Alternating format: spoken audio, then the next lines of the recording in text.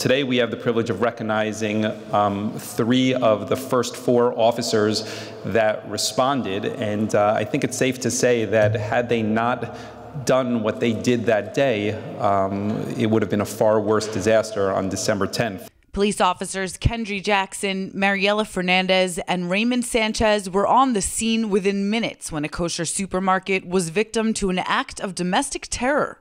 Today, they became detectives.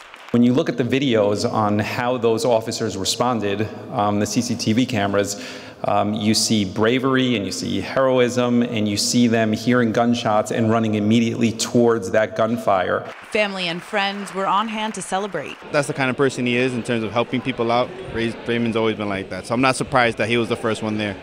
Members of the Hasidic community also showed up to support their brothers in blue. Chesky Deutsch had two young children in the yeshiva during the shooting, which lasted for more than two hours.